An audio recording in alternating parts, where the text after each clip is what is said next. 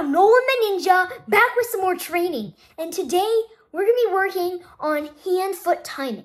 So hand-foot timing is something that's one of those kind of small details, but it's really, really important, and it you can be applied to a lot of moves in every single form.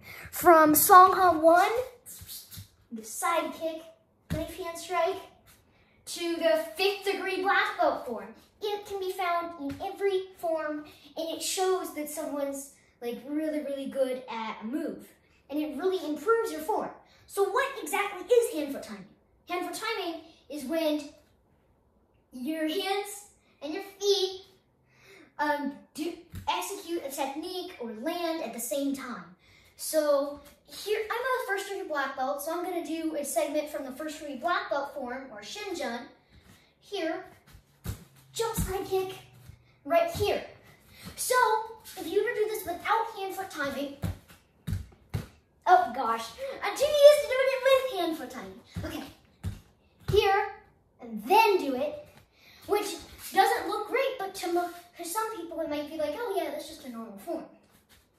But then, you see this, boom. That makes it look so much smoother. And it's really, when you're landing a technique like this specifically, and you're gonna wanna kinda try to balance, keep your hands up, and maybe even pivot a bit if you need to. Kinda like you're about to do a side kick or about to do a crescent kick. Um, so then you're gonna wanna land, but you can kind of break this into different parts three for this case, but to some other cases might be different. Um, let me actually do this, do this, the segment from Songahm One. So you side kick, you're here. So this is the first part, just balancing here and and or executing the technique before.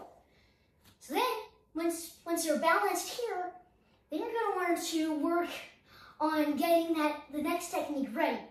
Here it's this, Oh. Boom, there we go.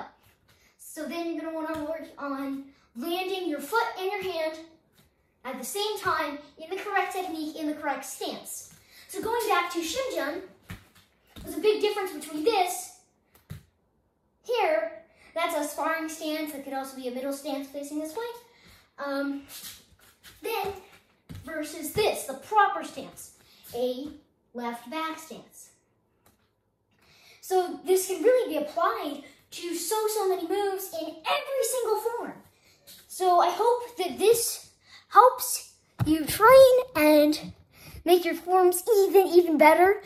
Um, and if you feel like demotivated or something, like you're feeling down, like, man, I don't want to do this, man, ugh, then just think, think about something that makes you happy and excited.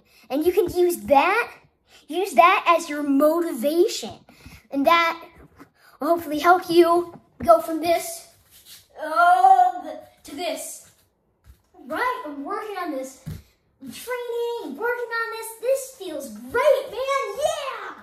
So it's really just getting yourself in a positive, excited mood, and it gets you your motivation back. So I hope that helps.